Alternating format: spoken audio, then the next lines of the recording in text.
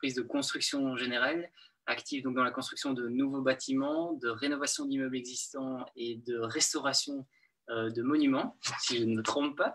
Belle définition. Merci. Euh, donc aujourd'hui au, menu, ben, c'est une petite discussion euh, tout à fait informelle, en toute décontraction sur l'entrepreneuriat et, des thèmes qui gravitent autour de celui-ci. On parlera notamment de management, on parlera de motivation. On te demandera aussi un peu ton avis sur ce contexte particulier que, nous connaissons pour le moment. Alors avant d'entrer dans le vif du sujet, je vais simplement rappeler ce qu'on fait ici donc, euh, chez, Charleroi Entreprendre. Donc Charleroi Entreprendre est le partenaire des entrepreneurs et des porteurs de projets sur Charleroi Métropole, avec la triple mission d'informer tout d'abord ces entrepreneurs et porteurs de projets, d'apporter l'information pertinente en temps et en heure pour les aider à progresser. Une mission également d'orientation pour les mettre en contact avec le bon partenaire sur la métropole. Et une mission également d'accompagnement euh, où on joue vraiment le trait d'union structurant et accélérant entre l'émergence de l'idée chez le porteur de projet ou l'entrepreneur et la concrétisation très pratique de celui-ci. Alors pratiquement en interne, au sein de Charleroi Entreprendre, nous avons donc conçu des programmes d'accompagnement spécifiques en fonction du public. Nous avons un incubateur d'entreprises pour les étudiants entrepreneurs, un programme START pour les nouvelles entreprises et les créateurs d'entreprises et un programme gros pour les sociétés existantes. Autour de cela gravite euh, un pôle d'experts en matière d'aide publique, aide à l'emploi et aide à l'investissement, en matière d'économie circulaire et en matière transfrontalière, et un espace de coworking pour permettre à ceux qui le souhaitent d'avoir un espace de travail partagé. Assez parlé de Charleroi Entreprendre, place à toi. Euh, est-ce que tu pourrais d'abord nous, nous, repréciser ton, parcours et nous expliquer comment on se retrouve propulsé finalement à 26 ans à la tête d'une société comme Nixon? Donc euh, d'abord, ben, bonjour euh, tout le monde, mon nom c'est Virginie, j'ai 35 ans et ça fait maintenant 10 ans que bientôt 11 que je suis chez Lixon, donc euh, je vais faire partie des dinosaures, bien que je ne m'estime pas encore. tu es dur, tu es dur avec toi. euh, donc, j'ai fait des études euh, de gestion, euh, un diplôme à Louvain-la-Neuve et SEMS, qui est un diplôme international parce que j'ai fait quelques Erasmus à droite à gauche. j'ai commencé par la consultance chez McKinsey pendant deux ans à Bruxelles, où là, ben, j'ai eu la chance d'être bouger de secteur en secteur, pays en pays, donc euh, c'était assez euh, instructif. Et puis, un soir, à la maison, mon père m'a dit, mais tiens, est-ce que ça t'intéresserait de rejoindre l'entreprise familiale? Et c'est vrai que c'est quelque chose dont, voilà, qui n'était pas un projet réfléchi, tellement réfléchi ou euh, prévu euh, dans la famille. Mais in fine, euh, comme on allait un jour devenir actionnaire de la boîte, ben, je me suis dit que ce serait vachement intéressant d'y travailler et de la connaître de l'intérieur. Et donc, sans vraiment savoir dans quoi je m'embarquais, j'ai sauté dans le train. Alors, tu me dis que tu as sauté dans le train. Est-ce que justement, cette dimension familiale, cette dimension émotionnelle n'est pas génératrice de stress? Est-ce que c'est pas trop anxiogène de, de reprendre comme ça le flambeau familial? Euh, oui, ben, ça veut dire beaucoup de choses. Hein. D'abord, euh, l'entreprise familiale, ça veut dire qu'on bosse avec sa famille. Moi, c'était juste mon père. Euh, et on connaît son père pour le, voir dans, au repas, à la maison, etc. Mais quand on bosse avec, on voit l'autre facette de l'homme professionnel qu'il est. Donc, on apprend quand même à connaître son père différemment. L'avantage aussi, c'est qu'il n'y a pas de côté politique, hiérarchique, promotion. Donc, on est tout à fait neutre et franc quand on se parle, donc c'est quand même euh, très instructif et intéressant. Euh, après, ça reste son père, donc euh, c'est vrai que parfois on en a marre de, ses remarques ou de son avis, et donc je pense qu'on a fait un an ou deux ensemble et qu'il fallait pas plus, peut-être parce qu'on se ressemble aussi, qu'à un moment donné on a juste envie d'être tranquille, donc c'était vraiment une chouette période et ça a duré deux, un an ou deux, puis maintenant il est, il est en voilà plus de plus loin, mais le projet d'entreprise reste, important pour lui. Donc on en parle euh, quand même, même le dimanche soir, euh, des dîners de famille, alors que ça ne devrait pas. Euh, et après, l'entreprise familiale, ben, on a un attachement particulier. Au départ, j'y allais parce que c'était ma famille, mais in fine, les employés et les ouvriers, on s'y attache. Et donc, je le fais autant pour eux maintenant que pour ma famille, parce que c'est vrai qu'il y a un lien émotionnel. Ok, chouette. Mhm. Donc on frappe toujours à la porte de papa quand on a besoin d'un petit conseil pour faire avancer, mais on garde évidemment cette dimension familiale qui fait finalement aussi toute la richesse de l'Ixon et le fait qu'on ait envie de rester, de travailler pour, pour ton entreprise. Et ça fait vraiment partie de nos valeurs. Hein. Euh, ça veut dire aussi que oui, on, parle très vite des dossiers au sein de l'entreprise, on essaie de prendre des décisions rapides, on mhm. promouvoit le fait qu'on est wallon-wallon et que donc la décision n'est pas prise à Paris, euh, aux Pays-Bas, euh, que comme d'autres groupes de construction. Donc je trouve que c'est vraiment à mettre en évidence. Et puis voilà, l'argent, il reste, il reste en Wallonie, il est réinvesti dans des projets wallons et, il y a une stabilité aussi de l'emploi. Donc, donc je pense que c'est bien pour tout le monde. Alors, je, profite justement pour rebondir. Toi, en tant que patronne de, de Lixon, tu joues évidemment un rôle central de manager. Euh, comment justement tu as fait du haut de tes 26 ans euh, pour gérer une société de 220 employés? Est-ce que tu as des astuces et conseils à, donner aux, gens qui nous suivent aujourd'hui? Je vais juste aussi rajouter, j'ai oublié de préciser, n'hésitez pas à poser vos questions sur le chat ou sur le Facebook Live et Virginie sera un plaisir d'y répondre. Donc, comment tu as fait justement pour reprendre à 26 ans euh, cette, cette gestion d'une société de la taille de Lixon?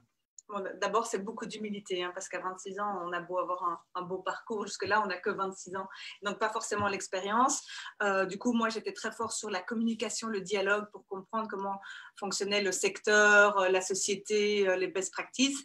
Mhm. et bon, au-delà de la communication, ce qui était très, très important, c'est évidemment l'équipe qui était sur place. On a quand même une vraie équipe cadre, parce qu'un dirigeant seul, ça fait pas grand-chose, mais finalement, il faut bien s'entourer. Et j'avais la chance d'avoir une super équipe qui était déjà sur place et qui est encore euh, en partie aujourd'hui présente, puis ça se renouvelle. Mais donc, euh, vraiment, c'est pouvoir compter sur son équipe, se connaître. Euh, souvent, ben, chacun a des qualités que l'autre n'a pas. Mhm. et donc, c'est comment on est complémentaires et ensemble, on, y arrive. Et justement, ben voilà, le milieu de la construction est, connu pour être un milieu assez masculin. Euh, qu'est-ce que ça fait de diriger une entreprise essentiellement composée d'hommes quand on est une, femme? Et est-ce que tu as réussi à vite imposer le respect? Et surtout comment, comment tu, as pu, euh, tu as pu le faire? C'est vrai que c'est souvent la question qui revient, alors que finalement, je trouve que c'est parfois plus en milieu corporate ou bancaire ou, ou dans les grandes mondanités qu'il y a plus euh, ce cliché macho ou quand, on voit une femme, on se dit, bon, ben, elle a d'office une position plus inférieure qu'un homme qui, a les cheveux gris, qui a un petit bide, 60 euh, ans, ça fait peut-être mieux. Euh, mais je trouve qu'en construction, par contre, euh, dans la société, en tout cas, les gens sont assez directs. Hein. Dans la construction, il y a moins de chichi, on est moins corporate, on est moins policé. Et du coup, la communication directe fait que j'ai jamais été dérangée par cette... allez, par ce côté homme-femme, et, par contre, bah, c'est sûr qu'il y a des clients qui préfèrent peut-être euh, d'avoir un homme en face, ça rassure. Et là, bon, les gens est tellement que hop, il y en a plein. Et puis il y en a qui préfèrent être avec des femmes. Et là, je suis là. Et il y a peu de boîtes concurrentes qui ont des femmes. Donc euh, voilà, c'est un avantage. Je vis ça plus comme un avantage. Et c'est vrai que du coup, même euh, les médias, en général, bah, ils aiment bien montrer des femmes ou une pluralité. Donc finalement, j'en bénéficie plus en termes d'image et de communication que, que l'inverse. Ok. Donc un vrai élément, un vrai élément pardon, différenciant mhm. pour, pour Lixon et une vraie valeur ajoutée dans les contacts que, que tu peux avoir. En sachant encore un, dernier truc, je trouve que euh, chacun a sa sensibilité euh, et homme-femme, ça joue quand même une différence. Dans les, directions, c'est quand même mhm. pas mal d'avoir euh, une ou plusieurs femmes. Je pense que ça se sait de plus en plus dans les autres boîtes. Ok. Tu, justement, tu, parlais de cette, place de la femme. Est-ce que tu penses qu'il y a une dimension peut-être plus d'intelligence émotionnelle qui va jouer ou peut-être plus de, compréhension dans le... Ouais, généralité, c'est toujours dangereux parce que je pense que hum, mon mari a plus d'intelligence émotionnelle parfois que moi, plus de diplomatie. Euh, mais je pense aussi que les femmes sont peut-être des... Euh, qu'on est peut-être plus dans les détails, on est plus réfléchi, plus posé, moins dans l'orgueil. Euh, et que donc, euh, encore une fois, ce qui compte dans l'équipe, c'est qu'on soit complémentaire et donc une femme apporte une, autre personnalité qu'un homme euh, va peut-être plus parler. Dans, Donc, on a des caractères quand même qui peuvent être complémentaires. Je sens une grande fierté quand tu parles de, ton entreprise. Est-ce que tu pourrais partager avec nous l'un de tes plus grands succès en tant que manager chez Lixon Oh, c'est dur, l'un des plus grands succès. Ben, c'est vrai. Euh, mais ce qui est chouette dans la construction, c'est qu'on euh, on voit ce qu'on fait comme travail. on construit euh, des bâtiments. Et c'est vrai qu'il y a des villes, surtout dans le Hainaut, Mons particulièrement, on a fait beaucoup de chantiers. Euh, et donc, quand on passe par la ville, quasi dans chaque rue, on peut dire, on a construit ce bâtiment. Et derrière le bâtiment, on connaît l'architecte, les bureaux d'études, mhm. l'histoire du bâtiment, le, client. Euh, on se remémore des anecdotes de chantier. Donc, c'est vraiment, on a l'impression de laisser une trace et de construire les villes, de participer à leur développement. Donc, ça, c'est l'élément dont je trouve on peut être plus fier en construction. Ok. Chouette. Alors c'est vrai qu'on on parle souvent de succès, mais parfois à certains moments on, a, on connaît des échecs on a certains regrets. Euh, est-ce que tu as une expérience à, nous partager avec peut-être évidemment ton, ton recul aujourd'hui et, et, un conseil vis-à-vis de, de, ce, que tu as, ce à quoi tu as été confronté euh, C'est pas si évident. Euh, je pense que dans la vie de l'entreprise de construction, mais on a quand même, enfin de, de construction n'importe quel autre secteur, on a quand même des, des échecs euh, quotidiens, hebdomadaires, on rate des, des appels d'offres. Euh, on a mal perçu une opportunité, on voit que les autres ont pris. Donc oui, il y a quand même des, voilà, de façon hebdomadaire, des petites déceptions. Euh, j'ai vécu euh, l'année passée la faillite d'une filiale mhm. euh, et c'est vrai que c'est quand même beaucoup d'énergie négative, des, voilà, des, choses qui ne sont pas agréables à, communiquer et à gérer. Donc je dirais que pour l'instant, la faillite de l'entreprise a été une des plus gros échecs. Et on se dit toujours, mais qu'est-ce que j'aurais dû faire? Euh, Si j'avais fait ça, peut-être que la situation serait différente. On essaye de refaire l'histoire un peu différemment. Mais donc, euh, ok. pas drôle. Pas drôle, effectivement. Je profite parce qu'on reçoit déjà une première euh, question sur le live. et on me demande si tu es la seule femme dans ton comité de direction. Non. Très bonne réponse.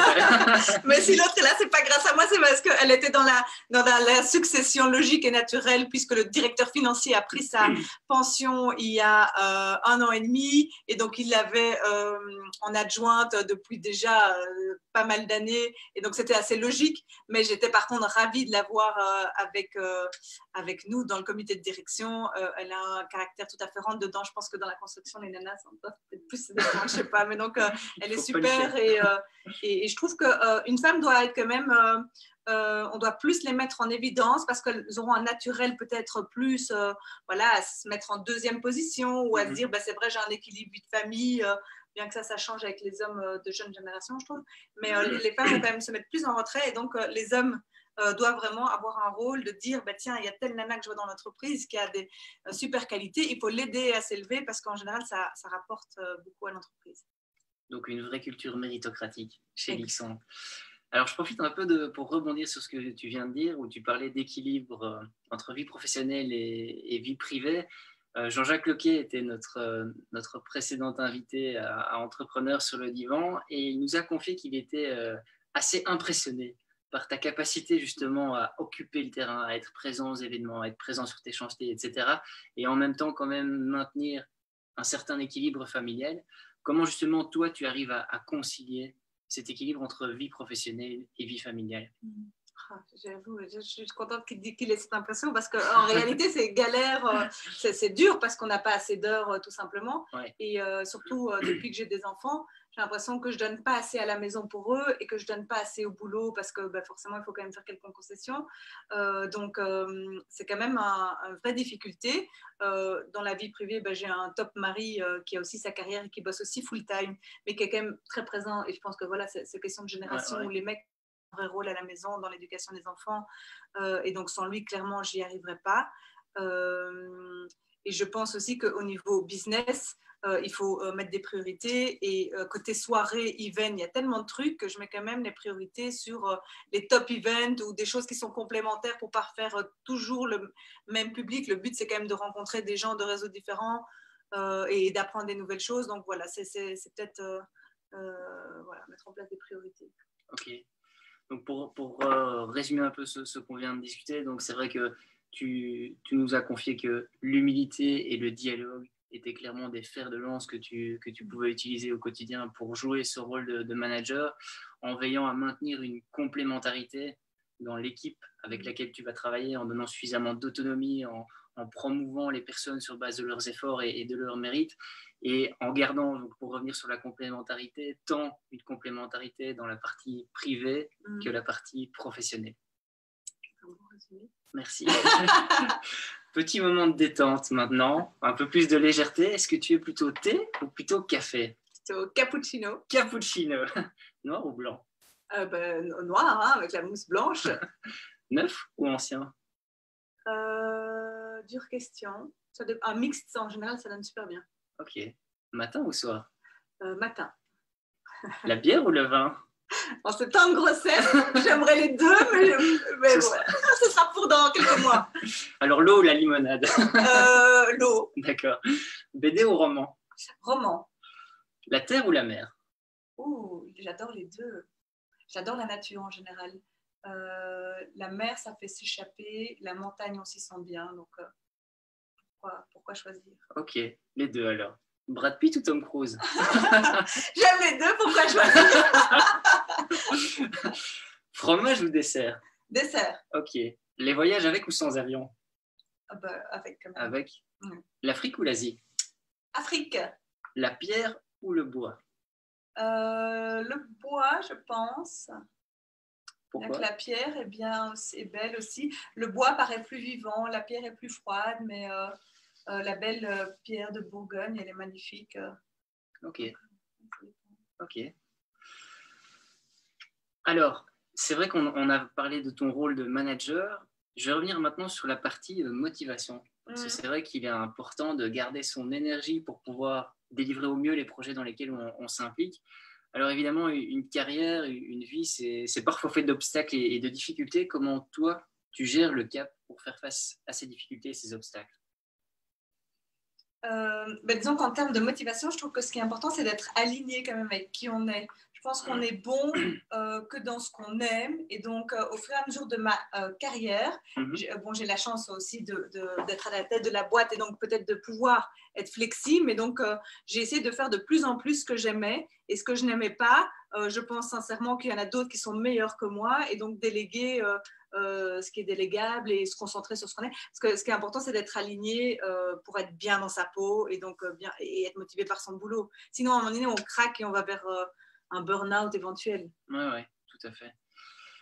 Alors, j'ai parlé de ta propre motivation. Comment fais-tu aussi pour, pour t'assurer que tes, équipes restent motivées? Parce que c'est vrai qu'un chantier, c'est parfois fait de, surprises, des bonnes comme des, comme des mauvaises. comment tu gardes justement cet esprit et cette envie d'aller de l'avant chez chacun de tes collaborateurs? Encore une fois, c'est très fort le dialogue hein, euh, euh, des chantiers. on ne sait pas dire à l'avance s'il va être super bien tourné, bien tourné, moyennement tourné, mal tourné. Mhm. Souvent, ben, c'est quand même un trio avec l'architecte, le client et l'entrepreneur. Et il suffit qu'un des trois soit de mauvaise foi ou plus difficile. Et, voilà, ça se tend. ce qui est important, c'est de rester soudé en équipe. Euh, c'est pas la faute euh, du, gars de chantier ou de telle personne si ça marche pas. On se met autour de la table, on essaye de réfléchir ensemble aux pistes et, euh, de s'en sortir ensemble. Et donc toujours avec la transparence, parler des problèmes, surtout pas cacher et, de résoudre ensemble parce qu'in fine, en général, la personne qui est confrontée au problème n'y peut rien et, c'est pas si simple. Elle fait de son mieux, je pense, en général. Pour s'en sortir, oui. Mhm. Donc vraiment un, dialogue. Esprit d'équipe, dialogue et esprit d'équipe. Ok, ok, ok. Alors, tu, me disais tout à l'heure que tu étais plutôt du matin. Qu'est-ce qui te fait justement te lever chaque matin? Oh, cette question, mais qu'est-ce qui me fait lever le matin? Moi, ce que j'adore, c'est gagner des projets ou acheter des nouveaux terrains pour faire des projets immobiliers. Euh, ça, c'est côté professionnel, évidemment. un jus d'orange pressé, ça marche aussi. Euh, mais euh, donc, oui, oui, non, parce que ce qui me drive beaucoup, c'est un chouette client, des chouettes projets et vraiment de voir les résultats, de se dire, on a bossé dessus, on l'a gagné et c'est ça qui, voilà, qui fait que on, est de plus en plus motivé. Quoi. Ok, c'est terminé la journée en se disant aujourd'hui, ça c'était vraiment un succès, je le garde et le lendemain matin, je repars sur, euh, sur ce qui était bon la veille. Quoi. Exactement. Alors, évidemment, quand on est à la tête d'une société, euh, on est su, parfois soumis à, des moments de pression qui peuvent être mm. intenses. Comment justement, toi, tu, tu gères la pression?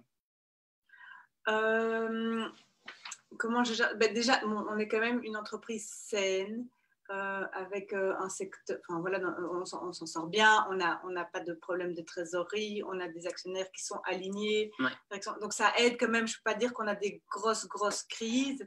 Euh, donc, comment est-ce que je gère la pression? Ben, Souvent, je, bon, je prends à cœur quand même les problèmes, mais c'est important de prendre du recul de prendre des avis d'experts. On n'est jamais bon dans tout. et puis, des fois, il y a des matières très juridiques où il faut des avocats, d'autres avis. Donc, c'est s'entourer des bonnes personnes, pas répondre trop vite. Euh, et puis, le recul euh, et le temps aident en général euh, à, tenir la pression. Ok. Alors, je, t'avais posé évidemment la question pour tes équipes. À nouveau, parfois les équipes sont, sont, vraiment sous pression, on peut être un peu sous l'eau, etc. Comment tu les aides justement à traverser des moments où on peut peut-être se sentir un peu perdu ou un peu submergé par, par le stress? On vraiment, donc on a quand même une structure en place euh, pour toujours avoir des relais et pouvoir demander à, son, collègue, son chef euh, de l'aide sur des dossiers, parce que le, pire, c'est de se sentir seul face au problème et pas, s'en sortir, mais pas, savoir demander à l'aide. Donc, euh, c'est vraiment se dire que on est co-responsable ensemble et on va s'entraider et on peut s'en parler ouvertement sans qu'on se fasse taper sur les doigts parce que ça tourne mal. Ouais. Et justement, pour créer ces moments de dialogue, est-ce qu'il y a des temps forts dans la semaine où tu fais en sorte que les gens se réunissent, où tu, où tu, tu justement crées ces moments de convergence pour maintenir ce dialogue? Donc, on a évidemment nos réunions euh, structurantes de la société, que ce soit hebdomadaires ou mensuelles. Euh, ce que je trouve aussi très bien, c'est d'aller quand même sur chantier, même si je ne le fais pas du tout assez.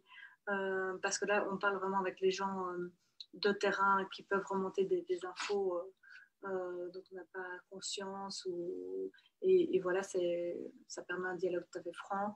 Euh, et après, bah, il y a des événements plus cool, euh, prendre un verre aussi, on a des ah infos euh, différemment. essayer de parler quand même un peu à tout le monde dans l'entreprise dès qu'on en a l'occasion. Ok. Ok.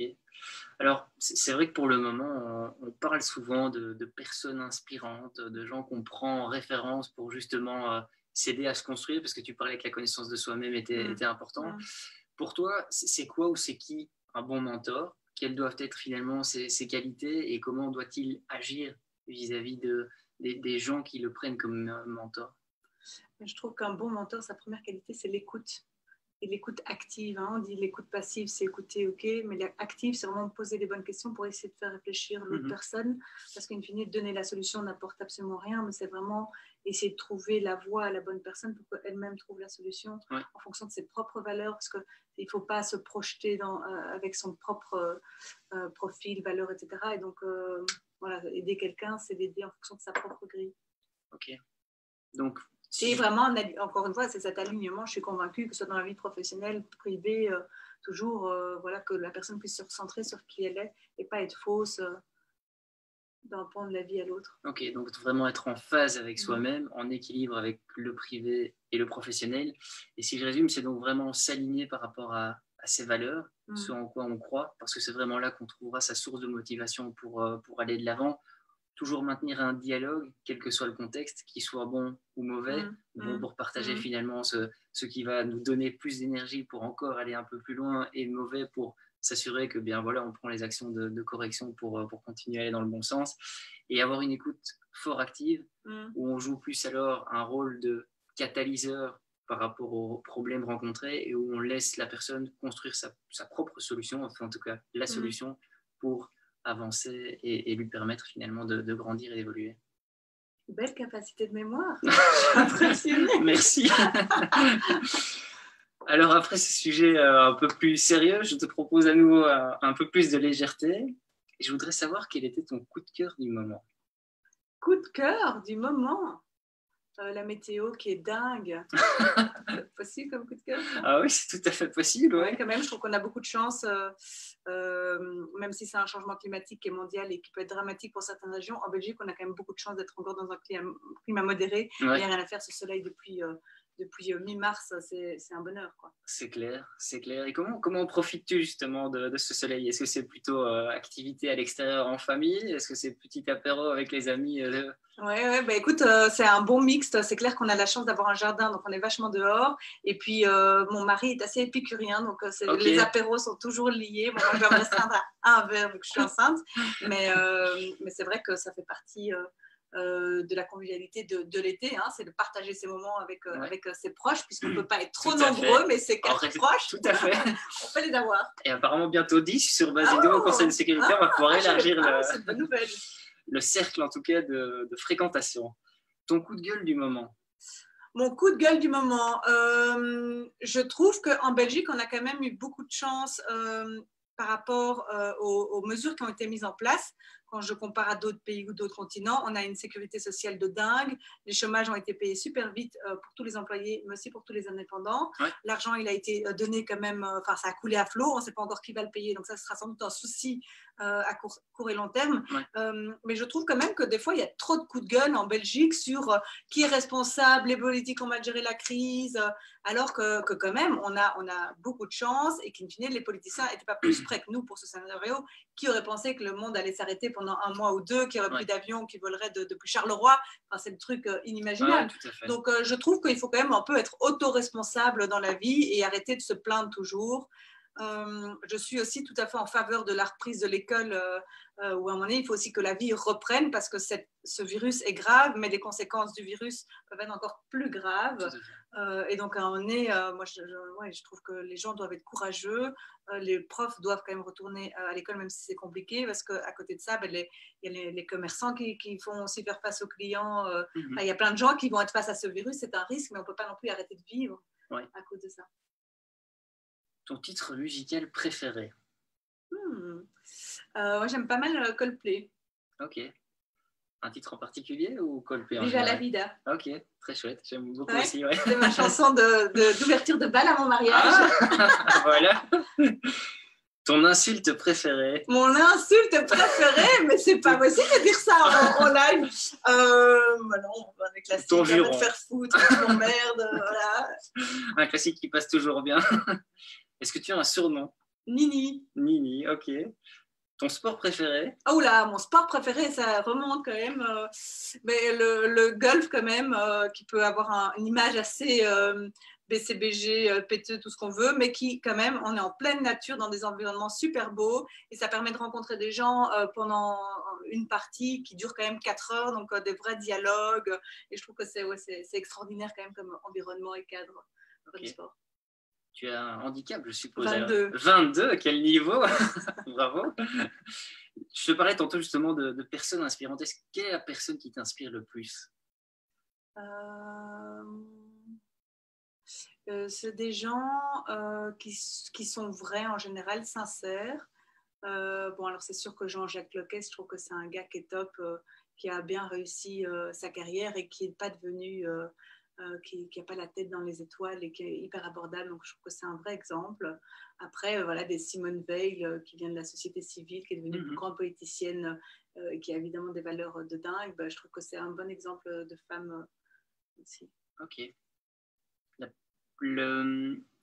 Si tu devais passer une heure en tête à tête autour d'un bon plat, avec qui ferais-tu? Euh, quand même euh, mon mari en fait. lui, il en a peut-être marre avec le confinement de me voir jour après jour, mais moi en fait j'adore. ok. Est-ce que tu as une bonne blague à nous raconter? Ah non, non, là, je suis nulle, je les oublie toutes, donc euh, désolée, je, je skip. Ok. Et le poster qui se trouvait dans ta chambre quand tu étais adolescente? Oula oh. euh... Je sais plus. Qu'est-ce que j'ai eu? J'étais sous les combles. Et donc, j'avais pas beaucoup de place, euh, vraiment de murs. Euh, euh, et, mais ce que j'aimais bien, c'était qu'il y avait un Velux et donc le soir, on peut vraiment contempler comme ça le ciel, c'était assez sympa. Mais sincèrement, je sais même pas si j'avais des posters. ok. Alors, je te propose de, revenir maintenant sur, un sujet qu'on vient de brièvement aborder, pardon, ce, contexte particulier du, du Covid-19. Euh, on entend souvent parler de l'émergence d'une nouvelle normalité suite à ce contexte de, voilà, qui, impacte tant nos vies privées que nos vies professionnelles. Dans le secteur de la construction, comment toi vois-tu justement cette nouvelle normalité, si elle est en train d'émerger? Euh, donc c'est vrai qu'on entend beaucoup parler. Je pense que ça a peut-être plus d'impact dans les boîtes de services euh, où le télétravail est faisable ou dans, des grosses boîtes internationales où ça a du, a plus de conséquences. La, construction, c'est un secteur assez conservateur, euh, qui était quand même plus ou moins local, en tout cas européen. Donc, on n'a pas, euh, quand ça a commencé en Chine et que la Chine a été bloquée, on a eu zéro impact sur la construction. Mhm. Et quand c'est venu au niveau européen, euh, c'est vrai qu'on avait quelques difficultés à se faire approvisionner d'Espagne, Pologne, Italie. mais bon, un modèle européen de production, est-ce que ça va changer, qu'on va ramener les usines de carrelage en Belgique ou de, je ne suis pas certaine. Donc, je trouve que le modèle européen, ça, a du sens. Mhm. après, pour tout l'aspect télétravail, ben, c'est vrai que nous, on est vraiment à produire nos, travaux sur des chantiers différents. C'est pas comme si on peut on fait déjà un maximum dans les usines pour la préfabrication, mais ça a ses limites. À un moment donné, il faut bien poser des murs euh, sur le terrain en question. Euh, et alors, comme c'est vraiment du travail d'équipe avec l'architecte, le client et, nos ouvriers, ben, ça se fait quand même euh, sur terrain. Donc, le télétravail, on l'a mis en place pendant deux semaines. À un et encore, c'est pour l'école blanc parce que les ouvriers, ils ont été mis directement au chômage économique. Euh, pour l'école blanc, ben, après deux semaines, bon voilà, ça tourne quand même euh, moins bien. Donc, euh, je dois dire qu'on reste quand même assez voilà, pragmatique dans le secteur avec un, un, travail terrain réel où on a besoin des gens sur place. Ok justement, bah, dans cette nouvelle normalité, par rapport à tes clients, est-ce que tu vois des, nouvelles demandes apparaître ou en tout cas des, points d'attention qui n'étaient peut-être pas présents avant quand tu pouvais discuter euh, d'un chantier en cours ou éventuellement d'une euh, offre que tu peux remettre? Donc euh, pour l'instant, c'est un peu trop tôt parce que c'est pas comme si on rencontrait déjà beaucoup de clients, mais néanmoins, ça va être dans le volet professionnel, bah, des bureaux. C'est vrai que la mode était au open space et réduction de, de place pour les employés. Bon, ça va l'être un, peu moins. Mhm. Euh, donc, est-ce que les dispositions des bureaux vont être pensées un, peu autrement, euh, ne fût-ce que pour l'hygiène, éviter de se croiser dans, la, dans, les ascenseurs, dans les petits espaces? Donc oui, je pense que les, clients vont un peu changer. Et alors, il y a tout le volet résidentiel. On fait beaucoup d'immeubles à appartements, où là, euh, euh, c'est vrai que c'est important, mais on a toujours mis le focus sur les espaces extérieurs, que chacun ait des terrasses, des choix de jardin, mhm. que l'appartement soit quand même convivial et que ce ne soit pas des, petites cages à poules. Mais donc ça, on faisait attention et je pense que les gens vont continuer à se dire, ben, si je devais être confiné dans un appart, je veux être sûr d'y être bien. Oui, tout à fait. Alors justement, tu, me parlais de télétravail, de finalement de nouvelles habitudes. Euh, est-ce que chez Lixon, vous avez pris de nouvelles habitudes? Avec ce, contexte particulier et est-ce que vous avez abandonné éventuellement d'autres habitudes? Ben, on s'est mis donc euh, à pas mal de réunions Teams, hein, un peu de Zoom. Euh, et c'est vrai que c'est pas mal quand on est avec euh, des, vraiment des, d'autres services juridiques, administratifs. Ça, ça, ça, fonctionne et c'est vrai qu'on gagne beaucoup en mobilité, déplacement. Mhm. par contre, pour tout ce qui est plan, à un moment donné, c'est quand même pas mal de pouvoir être autour d'une table, à griffonner sur le même plan et, et, et à l'interaction. Il y a quand même ce côté humain intuition, perception, euh, brainstorming qui marche mieux physiquement que, que, par vidéo. Mais oui, on a mis en place évidemment tout le, tout, le moyen de communication possible. Ok. Justement, euh, cette période de confinement, tu parlais de l'importance de, de, garder une certaine proximité. Comment tu fais pour garder le lien avec tes collaborateurs que, que tu as dû mettre euh, mais on a euh, beaucoup parlé, euh, encore une fois, beaucoup euh, communiqué. Donc, on a fait des, chaque, chaque, semaine des publications un peu pour voilà, dire où est-ce qu'on en était, ce qu'on allait mettre en place comme mesure. Euh, on a demandé beaucoup de retours des terrains parce que finalement, euh, la construction, on est une grande chaîne de production avec tous les sous-traitants et fournisseurs. Mhm. Donc, ce qui est important, c'est de savoir qu'est-ce qui se passe aussi chez eux. Donc, tout le monde a dû beaucoup contacter à chaque fois la chaîne de production de chaque chantier. On en a une quarantaine, donc vraiment, tout le monde a dû euh, participer à la réflexion de quand est-ce qu'on peut rouvrir, dans quelles conditions, etc. Après, on n'a pas non plus été 100% confinés, dans le sens où le travail était possible quand même, pour autant qu'on respecte les mesures de distance. Et donc, nos bureaux sont restés ouverts. Euh, moi, j'ai été à Charleroi quand même euh, dans les bureaux euh, plusieurs fois par semaine et on mhm. a tenu des réunions avec la distance qu'il fallait, mais je veux dire, on était physiquement présents. Et en fait, j'étais étonnée de voir le nombre de gens qui étaient quand même présents dans les bureaux et qui préféraient être là au point de vue efficacité, peut-être pour éviter les cris d'enfants ou autre. Mais en tout cas, c'était chouette de les voir parce que c'est quand même pratique de pouvoir se voir en direct. Ouais, ce besoin de présence quand mmh. même pour. Euh, mmh. Parce que c'est vrai qu'il y a toute une communication euh, non verbale qui passe quand on est euh, voilà, en, réunion ou en discussion avec quelqu'un. Et c'est sûr que la mmh. vidéoconférence parfois empêche de capter cette partie du message. justement, ben, voilà, on, on, sort. Alors évidemment, on est toujours dans ce contexte particulier, mais on, on sent qu'on va aller tout doucement de, de l'avant. Est-ce que tu vas tirer certaines leçons ou certains enseignements de ce que tu as pu vivre dans ce contexte particulier avec, euh, avec euh, Qu'est-ce que je peux retenir? C'était quand même un grand sentiment d'angoisse hein, au début quand ça nous est arrivé. Euh, c'était la première fois qu'on naviguait sans vue. C'est quand même très particulier parce qu'on ne sait jamais ce qui va se passer. Comment, Euh, donc, euh, mais, mais comme on l'a beaucoup vécu ensemble, à communiquer, à, à, réfléchir à, tout ce qu'il fallait mettre en place, je trouvais que c'était assez chouette en fait comme expérience d'équipe de se dire à chaque fois qu'est-ce qu'on met en place, comment on le fait? Oui, toi tu penses quoi? Oui, c'est vrai. Et à chaque fois, on, on aboutissait à, chaque semaine une nouvelle gestion. donc, je trouvais ça intéressant à vivre. après, est-ce qu'on en retire des leçons concrètes? Euh, c'est qu'on aime bien en fait se voir quand même. Hein. c'est que la vie normale, elle est chouette. la vie normale, est chouette. Donc une gestion euh, évolutive au mhm. fil des semaines en, fonction finalement de ce qui était mhm. expérimenté. J'ai parlé surtout de la partie collaborateur. Tu m'as parlé tout à l'heure que ce n'était pas toujours facile de, voilà, de, traiter avec un sous-traitant qui parfois devait se mettre à l'arrêt euh, en raison voilà, du, contexte. Comment aussi tu as, tu as gardé le lien avec ces partenaires qui sont, qui sont tes sous-traitants et avec qui finalement vous formez une équipe sur le chantier pour, euh, pour délivrer ce que, le, ce que le client attend. Donc ça, c'est les gens de chantier, la maîtrise de chantier qui a appelé tous les sous-traitants et les fournisseurs. comme on a 40 chantiers et qu'à chaque fois, il y a une dizaine de sous-traitants, ça veut dire vraiment beaucoup de gens avec qui faire le point.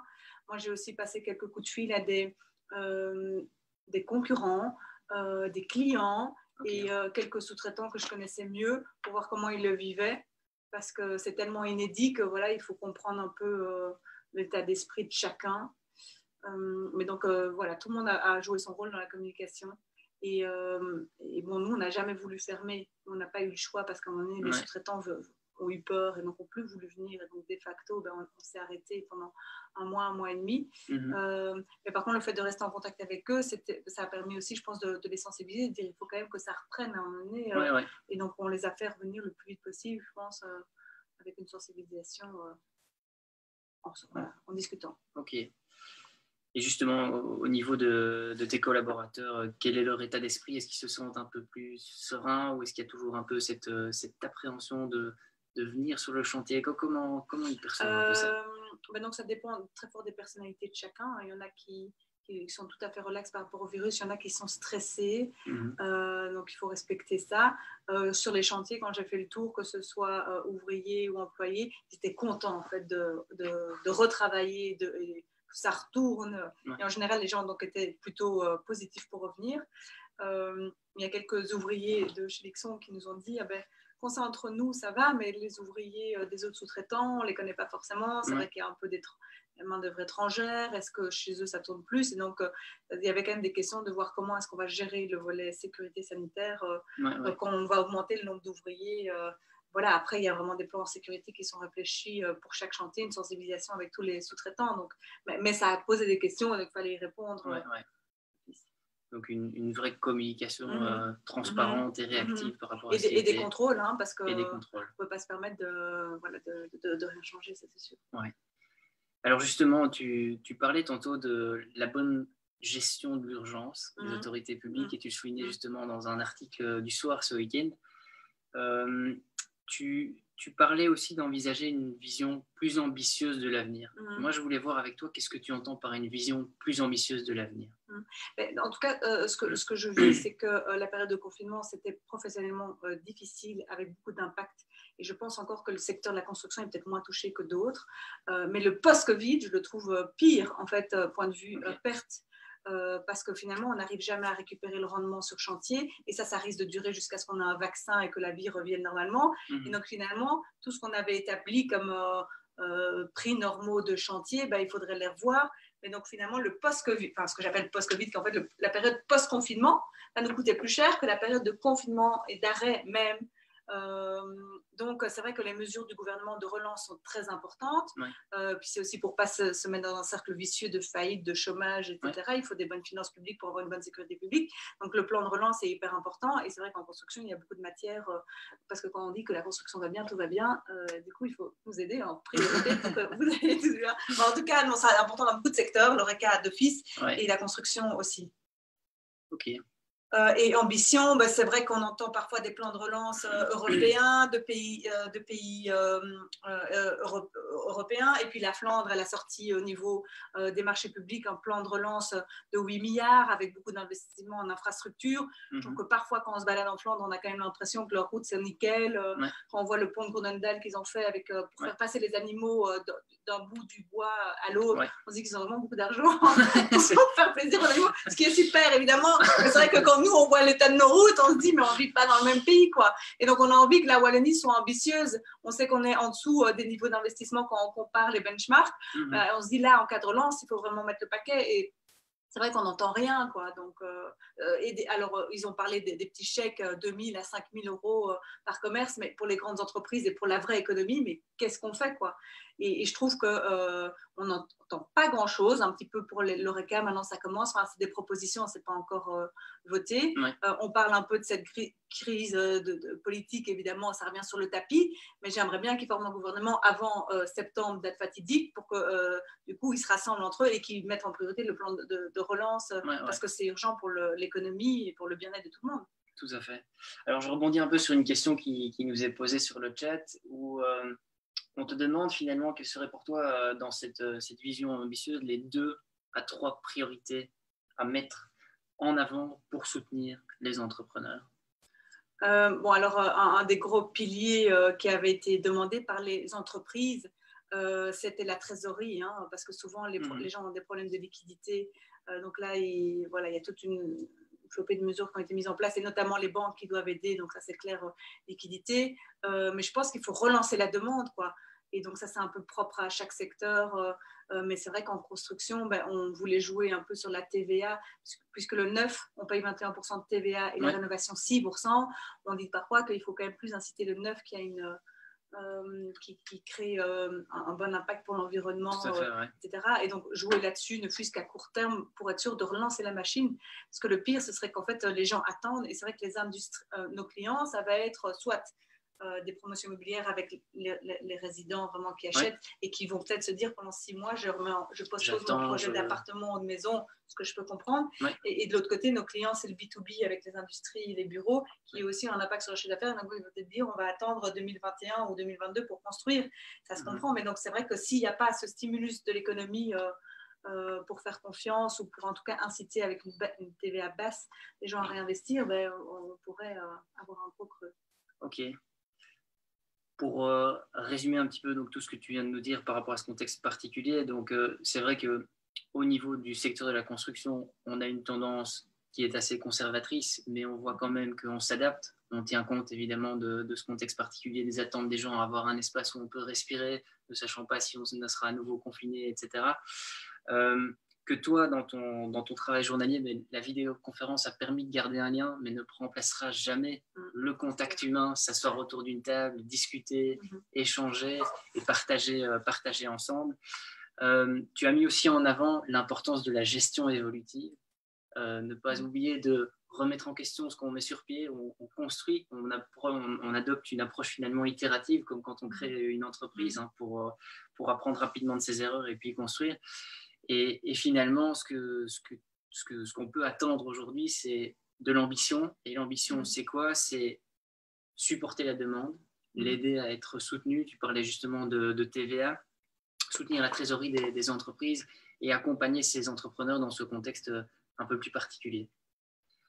Alors, je te propose de passer à la, au dernier volet de, de notre discussion. Et parler de, conseils. Voilà, je, voudrais que tu partages quelques conseils avec les gens qui nous suivent aujourd'hui. Et, pour toi, quelles sont finalement les clés de la réussite? Qu'est-ce qui fait qu'aujourd'hui, en tant qu'entrepreneur, on, réussit ou euh, J'ai l'impression de prendre 20 ans quand je dois conseiller moi déjà. Euh, donc, euh, disons que je trouve la première chose, c'est oser. Euh, je me suis toujours dit qu'il valait mieux euh, vivre ses rêves que rêver sa vie. Et, voilà, il faut euh, se lancer, se jeter à l'eau. Et il vaut mieux se dire j'ai raté qu'avoir des regrets. donc vraiment oser, c'est le mot, le mot clé pour moi. Ok, oser, ne pas avoir peur, mm-hmm. prendre des risques. Mm-hmm. Mm-hmm. Quand on dit prendre des risques, est-ce que tu as des conseils par rapport à cette prise de risque? Parce que c'est vrai que parfois le risque peut être démesuré. Alors je dis ça et après je suis quelqu'un qui, euh, qui est très fort dans les détails du dossier et à prendre des avis à droite à gauche. Donc euh, c'est pas comme si je me jette euh, sans, sans réfléchir à côté. Donc tout est mesuré, ça dépend de votre tempérament. Mais je trouve qu'en général les gens ne se lancent pas assez ou n'essayent pas euh, ne mettent pas à profit tout le potentiel qu'ils ont en eux. Mhm. Donc, euh, mais bien sûr, il faut quand même un business plan, une réflexion de, que, ça, que ça ait du sens. Ouais.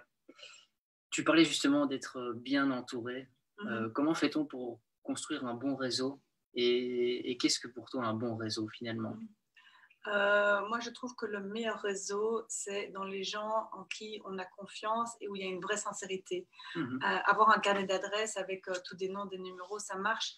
Finalement, quand vous avez vraiment besoin d'un coup de pouce ou de, de, réflexion pertinente, ce qui, ce qui est important, c'est des gens qui comptent et qui, en qui vous avez confiance et, qui vont dire ah ben, si tu as besoin de ça, je, je, vais le faire pour toi parce qu'il y a une relation qui est peut-être plus que le professionnel et qui est pas du tout, euh, euh, c'est pas du tout euh, en buvant un verre une fois un cocktail que je peux me dire que, je, que les gens sont fiables. Il y, a, quelque chose de plus profond. Ok, donc ça se construit. Ce sont vraiment des relations qu'on construit dans la durée, où on s'implique, mm. mais en, en, toute sincérité mm-hmm. et, et, en vraiment en, partageant sa, sa, bonne foi et en ayant confiance avec la personne avec mm. qui on travaille.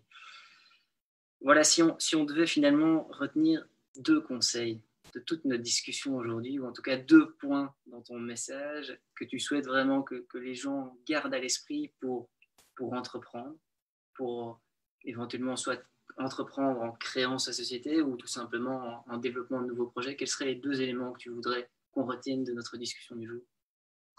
Euh, Travail d'équipe, ça c'est clair que c'est clé pour euh, y arriver. Euh, et, se jeter à l'eau parce que je pense qu'en Wallonie, il y a beaucoup de potentiel et qu'on est peut-être moins entreprenant euh, parce qu'il y a cette sécurité, il y a ce contexte euh, voilà, dans, la structure de la société. Mais donc vraiment se jeter à l'eau parce que les, Wallons sont en général très éduqués. Ok. Justement, tu, tu parlais peut-être d'un peu plus de réserve au niveau de la Wallonie. Je sais que tu as eu l'opportunité de, de, voyager aux, mmh. quatre coins du monde. et peux-tu peut-être partager l'une ou autre chose que tu as observé ailleurs et qui font que l'entrepreneuriat est vraiment plus ancré dans les gènes et fait qu'on ait envie de... je trouve que euh, voyager euh, à l'étranger, c'est toujours euh, très... moi, ça me booste parce qu'on voit d'autres choses. Alors, du coup, on se rend compte que son pays, il a des avantages pour certains trucs. Par contre, on ramène d'autres idées. et ce que j'aime particulièrement pour me booster, c'est les grosses villes que ce soit européenne euh, avec Londres, euh, mais aussi mhm. les grosses villes du monde entier. Je me souviens quand j'avais fait un stage de deux mois à Shanghai, et donc j'avais vraiment vécu là. j'avais été impressionnée, j'ai l'impression que chaque euh, semaine, il y avait des bars qui ouvraient. Euh, alors, c'est vrai que j'étais plus jeune maintenant, c'était fun. Mais quand même, je veux dire, euh, moi, j'ai vécu à Bruxelles. je pense qu'on va toujours dans la même boîte de nuit des jeux d'hiver que la génération d'avant. Et que là, vraiment, il y avait des trucs qui ouvraient non-stop. Et donc, quand on est dans ces grosses villes, on sent comme ça la dynamique, quoi. Ça bouge, ça grouille. On voit des nouveaux concepts qui ouvrent. Et, c'est pas que je voudrais vivre là, mais je trouve juste que ça, ça, ça, dynamise à fond. Et ça donne un autre rythme. Et puis après, on revient en Belgique. Et là, oui, là, je même Bruxelles, qui est notre grosse ville, bah, ce n'est pas la même chose. Donc, euh, donc euh, oui, ça dynamise et, ça ouvre l'esprit. Donc l'importance de créer de, de, la vie sociale mhm. autour du tissu économique mhm. pour voilà, avoir cette ambiance, euh, cette émulsion qui fait qu'on entreprend et on, va de l'avant. Alors si tu devais nous dire une chose que tu n'as jamais dite à personne. Je ne vous le dirai pas. que j'ai jamais dit à personne. ça, c'est... Question. Tu as, des exemples où je suis censée trouver? Ah non, moi je n'ai pas d'exemple. Est-ce que tu as quelque chose à nous partager, quelque chose que tu n'aurais jamais dit et que tu souhaites aujourd'hui partager en exclusivité avec les gens qui suivent Charleroi Entreprendre? Je ne m'y attendais pas. je n'ai pas de grosse coupe. Là, comme ça, c'est difficile. Si tu veux, je te laisse un peu réfléchir et je te propose la question suivante. Alors, on, espère accueillir euh, lors de notre prochaine session euh, Pierre Marcolini, mmh. euh, donc notre très renommé euh, chocolatier. Si tu avais une, question à lui poser, quelle serait-elle? Une question à lui poser. Ces chocolats sont délicieux. Après, moi, j'aime parfois les choses simples. Parce que lui, c'est très sophistiqué quand même, ses goûts. Hein. Donc, euh, donc c'est vrai que. Euh, Est-ce que la Belgique est encore à la pointe au niveau praline et chocolat? Ok. Pas de recette. Est-ce qu'on peut toujours être fier du chocolat belge? Est-ce qu'on peut toujours être fier du chocolat belge? Très bien, bien. On lui partagera cette question alors quand il, quand il viendra. Donc, si je dois, dois résumer à nouveau en, quelques mots, c'est confiance et sincérité qui sont la base de toute bonne relation, euh, qu'il faut vraiment oser, ne pas avoir peur. Aller de l'avant, c'est progresser. Évidemment, il y aura peut-être des moments plus compliqués, des moments où on va trébucher, mais en tout cas, il ne faut pas avoir peur. Faut pas avoir peur à, développer sa propre culture entrepreneuriale. Euh, et puis, tu, tu, parlais justement de l'importance du cadre de vie et de, créer un environnement. Et là, je rejoins peut-être un peu ce, ce besoin d'investissement dans l'infrastructure dont tu as parlé, mmh. où il sera vraiment important à l'avenir de pouvoir construire des espaces où nous pourrons converger et, créer justement cette dynamique qui fera qu'il y aura du tissu économique qui se développera et des interactions qui se créeront entre les, personnes. Eh bien, écoute, on arrive tout doucement au terme de notre, de notre heure de discussion. Euh, je voulais en tout cas te remercier euh, d'avoir répondu euh, présent à l'invitation. C'était un véritable plaisir d'échanger avec toi. Je vais regarder si on n'a pas d'autres questions sur le chat avant, avant d'y aller. ah, j'ai une petite question ici à nouveau. C'est que peut-on faire de plus pour booster Charleroi sur la scène économique?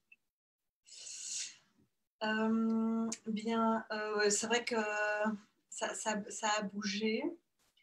les projets urbanisme, en tout cas de ce que je. Enfin, Catch, Catch a été quand même un super, euh, euh, un super euh, groupe de consultants qui a été mis sur place, qui a fait bouger les lignes. Mhm. Je pense qu'il ne faut pas que ça s'oublie et que toutes les pistes qu'ils ont lancées se poursuivent.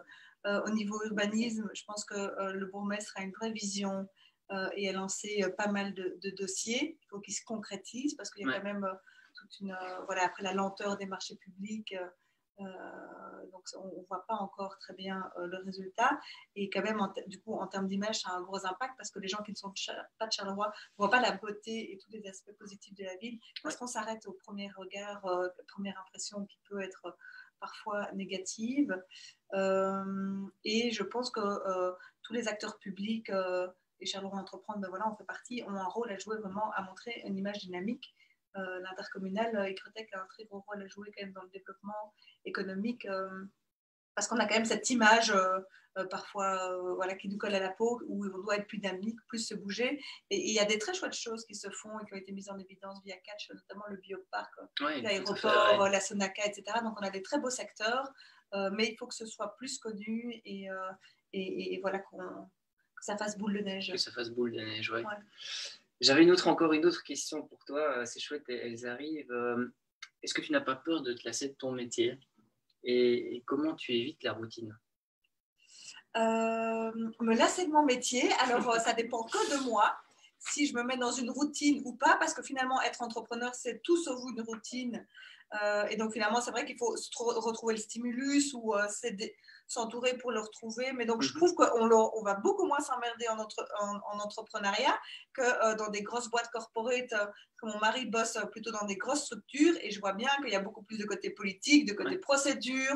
quand vous êtes des milliers dans une boîte, vous êtes, vous êtes mis dans votre, enfin, voilà, dans votre zone de décision, mais vous n'allez pas voir à droite à gauche que les PME et l'entrepreneuriat, c'est beaucoup plus large. Donc, je pense que je vais beaucoup moins m'emmerder euh, voilà, dans, dans, chez Luxon que, que, dans de boîtes euh, plus grosses. Euh. Ok. Ça me fait pas peur. Et la routine, ben, ça dépend aussi de sa personnalité. Il y en a qui adorent ça, j'ai rien contre. Moi, ça m'amuse de rencontrer des nouvelles personnes. Ça m'amuse de faire des projets dans des villes différentes et à chaque fois rencontrer le bourgmestre, les échevins, les, parce que ça, ça, voilà, ça donne à chaque fois un point de vue différent. Donc, donc moi, en fait, je ne suis pas routine de nature, donc, donc je ne pense pas le devenir. Ok. Donc, aller de l'avant, à l'aventure, découvrir. Oui, ça dépend que, ça dépend de chacun, en fait, chacun, hein, sa personnalité. Et puis, il y en a qui adorent la routine et c'est très bien comme ça, il faut tout. Mais si on veut avoir quelque chose de pétillant et, épicé, il ne faut pas avoir peur d'aller dans, dans la PME et dans le monde entrepreneurial. Eh bien, écoute, on, arrive au terme de toutes nos questions. Donc, euh, merci beaucoup, euh, Virginie. Merci à vous de m'avoir invité et euh, j'étais ravie de faire votre connaissance virtuelle. J'aurais préféré prendre un verre avec vous, mais au plaisir quand vous ferez une conférence physique. On espère effectivement que la prochaine fois, on pourra le faire en physique. Sache que tu es en tout cas toujours la, bienvenue chez, mm. chez Charleroi Entreprendre. Et on te souhaite en tout cas à très bientôt. Merci Virginie, merci à tous, au revoir.